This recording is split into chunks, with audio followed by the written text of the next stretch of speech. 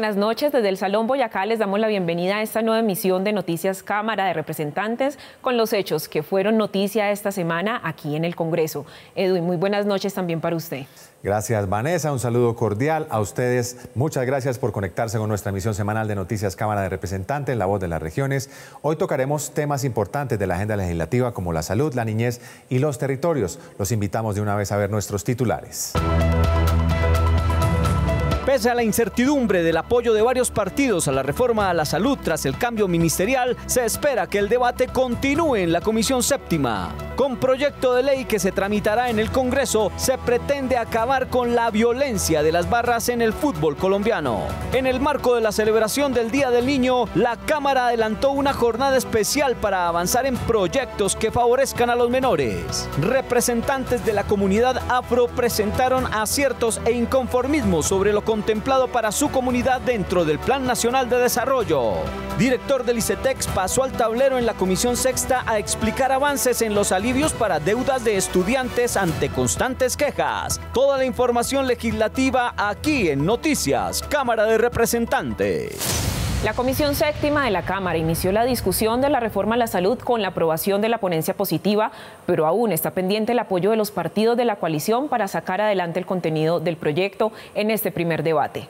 Apoyo que está en entredicho luego de que el mismo presidente Petro anunciara la disolución de la coalición por falta de apoyo y cambiara a varios de sus ministros. Sin embargo, desde el partido de gobierno esperan el desarrollo del debate a la reforma. El debate de los articulados, que creo que va a ser esencial dentro de la construcción de la reforma. Yo espero que este revolcón del gabinete permita que los partidos eh, que se han alejado del gobierno puedan llegar nuevamente a negociar. No ha sido un debate serio, no ha sido un debate de verdad de fondo sobre los puntos estructurales de la reforma.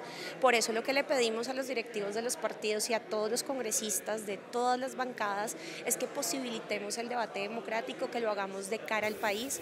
Desde la oposición advierten que es mejor retirar esta reforma y presentar una nueva. Presenta muchos vicios y hay que mirar cómo se corrigen esos vicios o realmente estamos iniciando una reforma que no va a tener ni siquiera una revisión constitucional. Entonces yo considero que es muy importante que se revise muy bien hacia dónde tiende, pero lo mejor sería mirar cómo se retira y vuelve y se reinicia todo este proceso. En el Partido Liberal, aunque continúan diciendo que hay cosas que no comparten, creen que hay que dar el debate. Y hoy el Partido Liberal aspira a ser un protagonista en la discusión del articulado de la reforma a la salud, que finalmente es el articulado el que define cuál va a ser el contenido de la reforma. A propósito de todo lo que ha sucedido frente a la reforma a la salud y otros temas que derivaron en este revolcón ministerial, varios representantes de diferentes partidos nos dieron sus opiniones frente a la decisión del gobierno nacional. El problema no es cambiar, el problema es que el jefe de Estado, que es el presidente Gustavo Petro, tome el rumbo del país y los ministros se conecten con la realidad de Colombia. Nos preocupa la salida de personas que a nuestro juicio venía haciéndolo bien.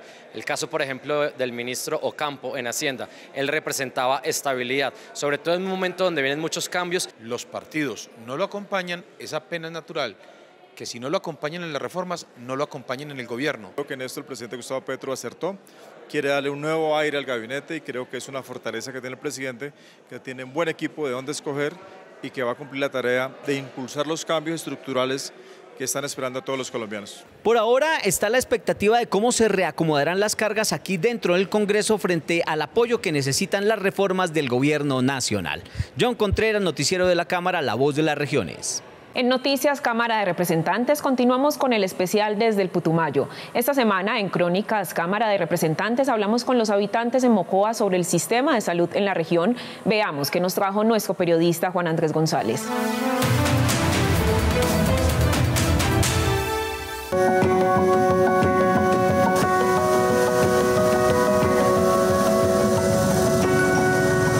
El Hospital José María Hernández es el único centro hospitalario con el que cuenta Mocoa. Atiende una población aproximada de 70.000 habitantes más la población de su área de influencia. Es un hospital de segundo nivel, es decir, su atención es intermedia con especialidades muy básicas. Mocoa solo cuenta con un hospital. Está malo, malo, está malo. Malo, malo, malo. Me llevaron a, una parte, una parte y a mí no me atendieron, no me dieron con los remedios correctos para mí. Porque recién paso por un dolor que siento y no, me dijeron que eso era algo normal y tengo que comprar las pastas. El servicio de salud está re mal, o sea, las EPS eh, se están como terminando, no sé de qué es lo que va, a dónde va. Para que lo atienden tienen que estar ya, mejor dicho, ya más muerto que vivo. La congestión de los servicios de urgencias y la falta de oportunidad hace que el acceso a los especialistas, como la cardiología o la dermatología, sean con mínimo seis meses de espera para su asignación. En Sanar si tiene problemas, dificultades Allá se le demora, mejor dicho, bastantes días para llegarle una orden, sea para medicamento o sea para sí, cualquier examen. Me toca esperar que la EPS autorice, entonces para mí es pésimo porque pues uno ya después se avanzan las enfermedades y ya no tiene cura. En este momento estoy bregando por unos medicamentos bastante costosos para mi madre, que no los hay, acá vengo de la EPS y me dicen que no los hay, que me escucha, me toca comprarlos. ¿De dónde no sé, pero toca comprarlos? Es que son más los aspectos negativos que sacan la cara por el sistema de salud del Putumayo. Desde la falta de atención primaria en los municipios más alejados, así como la falta de medicamentos en el plano obligatorio de salud, son algunos de los principales problemas por los que atraviesan los ciudadanos de esta región. Hay que contar que nosotros tenemos que salir con un, con un paciente a Pasto o y son más de 10 horas desde la frontera y también pues no contamos en el departamento del Putumayo con infraestructura suficiente. Nosotros no tenemos hospital de tercer nivel. Desde el territorio la comunidad le pide al gobierno urgentemente se tengan en cuenta las inquietudes que se vienen construyendo en las audiencias públicas regionales sobre el tema de la reforma a la salud. Tener un, sistema propio de salud y ese sistema propio eh, debe contar con la financiación porque nosotros hacemos salud preventiva, eh, nuestros médicos hacen salud preventiva, así que eso es lo que necesitamos que se implemente en Colombia. Me voy muy agradecida y le pido a Dios que esta entrevista la mire el presidente Petro. Sobrevolamos el volcán Nevado del Ruiz y hablamos con expertos para conocer si las autoridades y la población se encuentran preparadas para una eventual erupción. Nuestro periodista Geordet Gutiérrez visitó el observatorio vulcanológico desde donde se monitorea segundo a segundo la actividad del volcán. Vanessa, Edwin y televidentes, los saludamos desde la Plaza de Bolívar aquí en Manizales. Noticias Cámara de Representantes continúa informando de cerca la inestabilidad sísmica del volcán Nevado del Ruiz que continúa en alerta naranja con una probabilidad de erupción en días o semanas. Aquí en el departamento de Caldas también visitamos al Observatorio Vulcanológico del Sistema Geológico Colombiano y también acompañamos a un grupo de rescate élite de la Defensa Civil en un recorrido por la zona. Según estas imágenes realizadas desde un una aeronave de la Fuerza Aérea Colombiana muestra claramente emisiones de ceniza de más de 2.500 metros de altura. Hubo reportes de eh, anomalías térmicas importantes en el fondo del cráter, lo que vuelve a evidenciar la inestabilidad del volcán y la importancia de estar permanentemente vigilándolo y eh, muy informados respecto a la evolución de su actividad. Pero ¿cómo el Servicio Geológico Colombiano registra la actividad volcánica del Nevado del Ruiz? Aquí en esta pantalla ya tenemos las trazas de esos sismos que se están registrando en el sismograma y eh, estas trazas son las que se analizan por el personal que permanece las 24 horas del día pues, los turnos que se hacen y se va analizando cada señal. La Fuerza Aérea Colombiana sobrevuela constantemente el cráter con el objetivo de alertar si alguna anomalía se llegara a presentar. Llevar las imágenes en tiempo real de los movimientos del volcán de del Ruiz.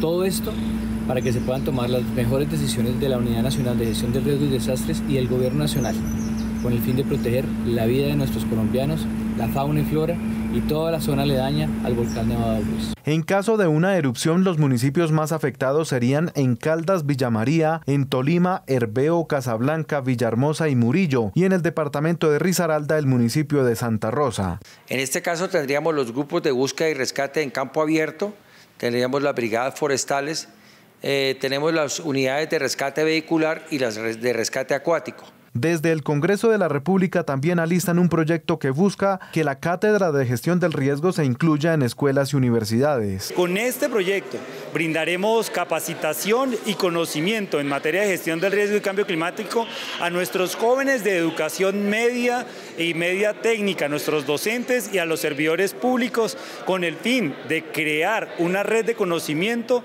que permita eh, definir esto como una estrategia y un instrumento de prevención. La alerta naranja se mantiene y desde el Observatorio Vulcanológico a través de las 17 estaciones de medición, los profesionales continúan al tanto de los movimientos del volcán. La Comisión Accidental presentó el día de ayer ante la Comisión Legal Afro un informe para el control político, acompañamiento y seguimiento al presupuesto del Plan Nacional de Desarrollo que se destinará a las comunidades negras, afrocolombianas, raizales y palenqueras. Nuestra periodista Melissa Pita tiene todos los detalles. Así es, Vanessa, Edwin y televidentes, muy buenas noches. Acompañamos a la Comisión Legal Afro en el desarrollo de este importante debate de control político. Uno de los objetivos principales para los congresistas es visibilizar aún más las comunidades afrocolombianas y pedir un aumento significativo de los recursos destinados a estas poblaciones en el Plan Nacional de Desarrollo. Con mucha preocupación hemos revisado la ponencia eh, que han radicado para el plan de desarrollo, donde hemos encontrado que ha quedado por fuera muchas de las solicitudes que han hecho eh, la Comisión Legal Afro. 39 propuestas de los congresistas que hacen parte de la Comisión Legal Afro se encuentran hoy por fuera. Vemos con muy buenos ojos cómo se está desarrollando el plan de desarrollo para este periodo, para este cuatrenio. Es importante tener en cuenta de que este plan de desarrollo se está debatiendo artículo por artículo cosa que no, se había hecho. En esta oportunidad tenemos los colombianos la seguridad de que vamos a tener un plan de desarrollo para sacar adelante eh, a este país que tanto lo necesita. Noticiero Cámara de Representantes se desplazó hasta la región caribe colombiana para escuchar las voces de las comunidades y líderes afrocolombianos frente a las expectativas y necesidades que busca cubrir el Plan Nacional de Desarrollo. Estamos reclamando del gobierno local departamental y nacional, inversiones con enfoque diferencial para efecto de que estas comunidades se vean tratadas de forma diferente, con inversiones dirigidas única y exclusivamente hasta, este sector de la población. A propósito de los lamentables hechos de las últimas semanas, más de 10.000 hinchas del fútbol colombiano se comprometieron a vivir la pasión del gol en paz. Un proyecto de ley de autoría del representante Juan Sebastián Gómez promete tener parte de la solución frente a la violencia en los estadios. Disfrutar el fútbol sin violencia es el sueño de los aficionados desde hace muchas décadas, pero desafortunadamente los hechos vandálicos continúan en ciudades como Medellín, Cali y Barranquilla. Un proyecto de ley presentado por el representante Juan Sebastián Gómez busca regular la fiesta del fútbol. Revisar todos esos temas que se han dado, todos los errores que se han cometido, fortalecer esas comisiones locales de fútbol, darle un empoderamiento también a la nacional y revisar si se está cumpliendo sus funciones para que en serio podamos tener un fútbol en paz, un fútbol tranquilo y unas barras enmarcadas dentro del barrismo social. Barras de Paz tiene como objetivo, además de culturizar a los hinchas, realizar obras sociales en beneficio de las comunidades menos favorecidas, además de alejar a los jóvenes de la drogadicción. Para eso hemos eh, llegado a muchos acuerdos con los chicos y les hemos brindado también herramientas, capacitaciones, trabajo, estudio, eh, cultura, eh, deporte, tenemos un club de fútbol, tenemos una escuela musical y eso lo han hecho la gran mayoría de las barras del país. La invitación está abierta para seguir trabajando por un barrismo social, un barrismo en paz. Tenemos en nuestras barras poblaciones ya maduras, grandes, de profesionales con grandes potenciales que ayudan mucho y pueden ayudar mucho a contribuir para una mejor sociedad. La iniciativa propone una base de datos de los hinchas y sus características comportamentales, además de duras sanciones a quienes porten armas blancas o de fuego, ataquen a un policía, invadan el terreno de juego y consuman estupefacientes. Como es costumbre, la plenaria de la Cámara, con ocasión del mes de los niños, realizó la sesión especial de la niñez, donde se discutieron varias iniciativas a favor de esta población. Veamos cuáles fueron los llamados urgentes de los más pequeños. Iniciativas como lactancia materna en espacios públicos, uso de cinturón de seguridad en el transporte escolar, flexibilización del horario laboral entre otros, hicieron parte de la agenda legislativa discutida. Y es por eso que queremos que a través de esta plenaria, en articulación con el Instituto Colombiano de Bienestar Familiar, en articulación con la rama legislativa, ejecutiva y judicial, nos comprometamos a reducir esas brechas de desigualdad, de maltrato, de violencia y esas brechas que ponen en riesgo más el goce efectivo de los derechos de nuestra infancia. Los miembros de la Comisión de Infancia y Adolescencia acompañaron la sesión y manifestaron su complacencia por la participación de los menores. Y estamos muy contentos de poder aportar desde el legislativo, contribuir para que los niños y las niñas de Colombia se sientan más felices, se sientan más seguros, más protegidos. Los niños y adolescentes congresistas por un día opinaron. Estamos hoy aquí para darle a conocer a las y los congresistas nuestros cinco grandes temas de interés, como es el juego, nuestra familia, nuestra educación, el cuidado del medio ambiente y de la naturaleza y también nuestro bienestar emocional, que es uno de los temas muy importantes. Durante la jornada legislativa se escuchó a la directora de Infancia y Adolescencia del ICBF, quien pidió a los congresistas el acompañamiento con lo plasmado en el Plan Nacional de Desarrollo. Está listo el documento para la creación de la Agencia Nacional de Seguridad Digital y Asuntos Espaciales, que busca fortalecer el sector defensa en áreas tan sensibles como las tecnologías de la información y las comunicaciones, un mayor acceso a educación y salud para las regiones rurales y mejor infraestructura es lo que traería esta iniciativa de la Comisión Segunda para los colombianos. Con el incremento del uso de las tecnologías en el país, crece también la necesidad de actualizar las bases de datos y de reforzar las medidas de seguridad que le garanticen la fidelidad de información a los colombianos. Pero se requiere en este momento, en ese sentido, una, una entidad que, que regule eh, y que además de eso promueva como las buenas prácticas en diferentes instituciones, tanto civiles como del Estado. Y por otro lado está el tema de asuntos espaciales. Esto se trata de llevar esa tecnología a solucionar problemas que tenemos reales. Eh, se necesita también información, conocer con antelación lo que se puede prevenir en términos de cambio climático, en términos de emergencias a raíz de fenómenos naturales. Es garantizarle la seguridad a nuestros empresarios, a los bancos, a las entidades del Estado. Miren lo que pasó con el INVIMA, lo que ha pasado con Colsanitas. La Comisión Segunda visitó la base número uno de la Fuerza Aérea Colombiana ubicada en Palenquero, Puerto Salgar, con el fin de inspeccionar la realidad de infraestructura y tecnología con la que cuenta la Fuerza Aérea Colombiana. Recordemos que con la creación de esta agencia, Colombia estaría a la vanguardia tecnológica y espacial a nivel mundial. Estamos aquí los representantes de la Cámara, los senadores, diciéndoles sí a toda la gestión que hace eh, la Fuerza Aérea la seguridad y sobre todo la defensa del espacio aéreo de nuestro país. Esta es una iniciativa de autoría del Ministerio de Tecnologías de Información y Comunicación y la Fuerza Aérea Colombiana, la cual será tramitada y debatida desde la Comisión Segunda de la Cámara. Fue negada la moción de censura que se adelantó en la Cámara de Representantes en contra del canciller Álvaro Leiva. 108 votos respaldaron la actuación del jefe de esta cartera.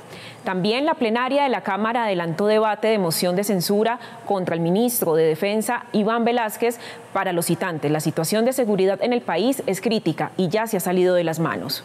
Esta semana se adelantó la votación de moción de censura contra el canciller Álvaro Leiva, la cual fue negada. El jefe de esta cartera tuvo el respaldo de las mayorías quienes defendieron la tarea que se viene haciendo desde el Ministerio de Relaciones Exteriores. Los resultados internacionales han sido importantes. Indudablemente la política internacional de Colombia en estos ocho meses ha mejorado. Nosotros realmente creemos que el doctor Álvaro Leiva en la función de, de, canciller ha cumplido un papel excepcional, no solo de la promoción. La plenaria también adelantó el debate de moción de censura contra el ministro de Defensa Iván Velázquez. Los citantes criticaron la labor del ministro y afirmaron que los hechos de violencia en el país se le han salido de las manos, al igual que la erradicación de cultivos ilícitos. Las calles de Colombia están en manos de la delincuencia.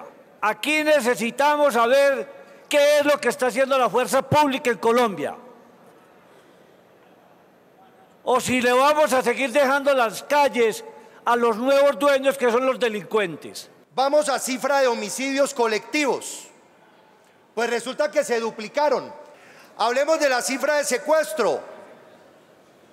Secuestros totales se duplicaron también en la medición de este mismo periodo y la, las cifras provienen de los informes del Ministerio de Defensa, ¿no? El Ministerio de Defensa respondió con contundencia y aseguró que las acciones violentas han disminuido durante el presente año.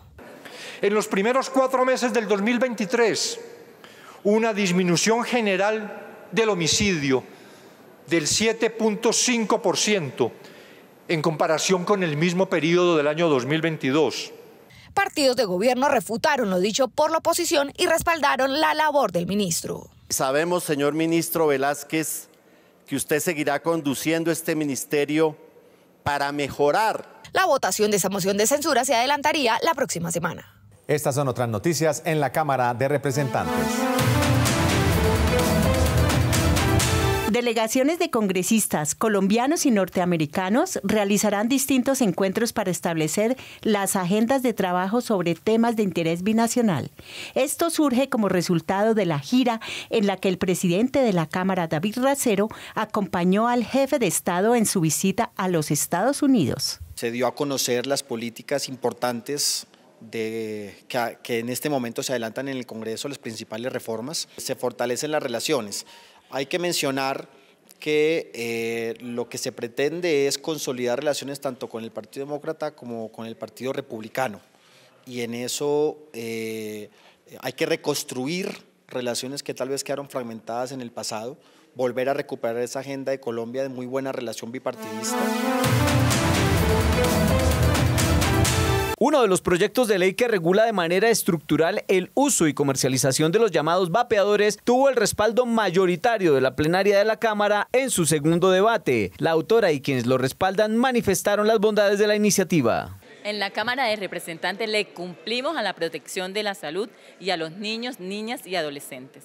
Además de prohibir los vapeadores para los menores de edad, de igual manera se prohíbe la comercialización en entornos escolares. Además, se hace un control del contenido de nicotina y saborizantes en estos dispositivos que lo que buscan es crear nuevos adictos. No nos sigamos diciendo mentiras, que son productos para cesación de tabaco. Eh, estos productos mayoritariamente los están consumiendo niñas, niños y adolescentes que nunca habían sido consumidores del, del cigarrillo convencional.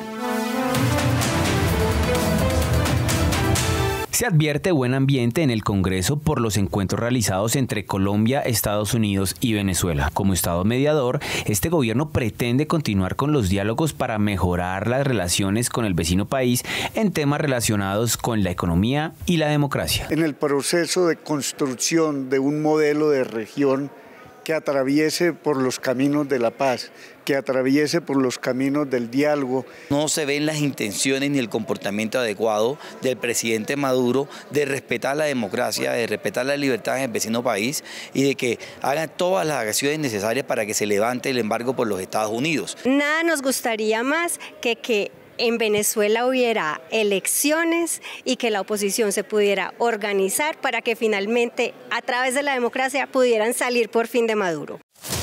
A pesar de la reducción de las tasas de interés en los créditos del ICETEX, muchos jóvenes aún no sienten el alivio en las cuotas que deben pagar todos los meses. Las constantes quejas motivaron la citación desde la Comisión Sexta al director de esta entidad, Mauricio Toro. Alrededor de 270 mil beneficiarios con créditos del ICT ya sienten un poco de alivio en su pago mensual, pero aún quedan cerca de 90 mil estudiantes a los que se les incrementó la cuota hasta en un 30%. Ellos reclaman la ayuda del gobierno. Represento a cientos de jóvenes que nos veremos afectados a causa del alza en los intereses de las cuotas actuales, que son inhumanas, y las próximas serán definitivamente insostenibles. Es importante que cuanto antes lleguen los 350 mil millones de pesos a la entidad para que no se vean afectadas las cuotas de los jóvenes del país. De lo contrario, para el mes de mayo las tasas de interés volverían al 12 y 13%. Según el director del ICETEX, Mauricio Toro, la inflación sería la responsable de que no se perciba de manera efectiva la reducción en las tasas de interés. El IPC no depende del ICETEX, no lo maneja el ICETEX, es la variable de la inflación, por eso todo ha subido, los alimentos, el transporte, los servicios públicos y nos pega a nosotros, pues todos los créditos tienen que estar como mínimo a ese IPC que pasó del 5 al 13. Quienes venían subsidiados de tasa no pagaban tasa, esos 90 mil pasaron de pagar un interés del 5 al 13. Para neutralizar el efecto negativo de la inflación se estudian varios mecanismos que mantenga estable el valor de las cuotas. Lo primero que el ICT debe tener es autonomía financiera. Segundo, aumentar su presupuesto, porque realmente hay el interés del gobierno nacional, del presidente del ICTES, pero no alcanza los recursos. La comisión respaldó la gestión de Mauricio Toro al frente del ICETEX, quien anunció la erradicación del proyecto de ley que reestructuraría la entidad para el próximo mes de agosto. Esta semana, Colombianita y Pacífico Cabrera estuvieron con el representante del Partido Centro Democrático, José Jaime Uzcategui. Los temas, la seguridad en Bogotá y las víctimas de la fuerza pública en el conflicto armado. José Jaime Uzcategui Pastrana. Uy, ya venía determinado con ese Pastrana. Ese Pastrana es del mismo Misael y ellos. Del Huila, claro que sí. A mucho honor y, y una familia que también ha trabajado mucho por Colombia. ¡Hablemos de Uy. Primero hay que proteger a quienes nos protegen. Por eso yo vivo dedicado a defender a los soldados y policías de Colombia y ahí hemos ido logrando que les asignen un presupuesto, que les den más garantías, que les den temas de bienestar, seguridad jurídica, aunque debo reconocer que hemos retrocedido un poco en los últimos meses, pero protegiendo a quienes nos protegen y trabajando de la mano de las empresas de vigilancia y seguridad, de las comunidades, de pronto podemos recuperar la seguridad en Bogotá, pero falta mucho por hacer. Aprobamos la ley de seguridad ciudadana hace unos años, eso fue bueno, pero falta todavía mucho más en eso y en los temas de justicia. Representante, entre otras cosas, eh, yo creo que usted debería velar porque pongan un timbre en la puerta y no le toque darle así como le tocó hace poquito. Oiga, sí, sí, sí, sí. ¿Cómo le fue con ese episodio? ¿En qué terminó? Dejemos claro que, que, ni la puerta se dañó, ni, ni a nadie se le afectó la vida, como si no le han afectado muchos delincuentes que creen en la violencia como un mecanismo de hacerse escuchar. Me han hecho memes, dicen que yo le estaba golpeando a la señora que me abriera la puerta en la madrugada y no, yo estaba trabajando en horarios de oficina y pidiendo justicia para las familias de la fuerza pública después de que no me los dejaron ingresar a las gradas donde se estaba haciendo un debate de moción de censura. ¿Iba a pedir un megáfono también? Ah, ese, también ya me lo tienen prohibido. Yo creo que me están requisando cuando entro porque se preocupan, pero el, el, megáfono es una herramienta de la democracia. Ojalá en Colombia hubiera más megáfonos y menos fusiles y esa es mi apuesta también como defensor de la fuerza pública. Ojalá se quite los guantes y podamos tener una charla de, de, caballeros y de amigos también que en el fondo somos. Representante, muchas gracias por recibirnos a Colombianita y a mí aquí en País Pacífico. Me hace un gracias favor, ¿me puede dar de comer a Colombianita? Muchas gracias a usted, Pacífico, muy amable y claro. Ojalá siga trabajando por la paz representante. No, usted no nos vaya a dejar por como, invitarnos. No nos vaya a dejar como tiene ahorita colombianita, doctor. que Dios los bendiga y muchas gracias por la, por la invitación. Bueno, porque todo el mundo habla de paz, pero nadie se compromete. La paz sea con usted, Colombia. Y esta fue la semana del presidente de la Cámara de Representantes, David Racero, en 60 segundos. Esta fue la semana del presidente David Racero en segundos. Se reunió con el gremio sindical, incluyendo los voceros de las centrales sindicales de todo el país, ratificando el propósito de escuchar a todos los actores para construir la mejor reforma laboral para los colombianos presidió una importante y especial plenaria en donde los niños y niñas colombianos fueron los protagonistas. En ella expusieron sus preocupaciones y necesidades para ser incluidas en el Plan Nacional de Desarrollo. Se reunió con el ministro de Defensa para abarcar aspectos importantes sobre la política de seguridad, defensa y convivencia ciudadana que fue presentada el pasado martes por el Gobierno Nacional y cuyo eje central es la protección de las personas, la naturaleza y los seres sintientes. Edwin, nos despedimos agradeciendo la sintonía de nuestra teleaudiencia y recordándoles que nos vemos dentro de ocho días con toda la actividad legislativa. Gracias, Vanessa. A ustedes les recordamos, por favor, seguir nuestros canales digitales para que estén al día con lo que ocurre aquí en la Cámara de Representantes, en La Voz de las Regiones. Los esperamos en nuestra próxima emisión de Noticias.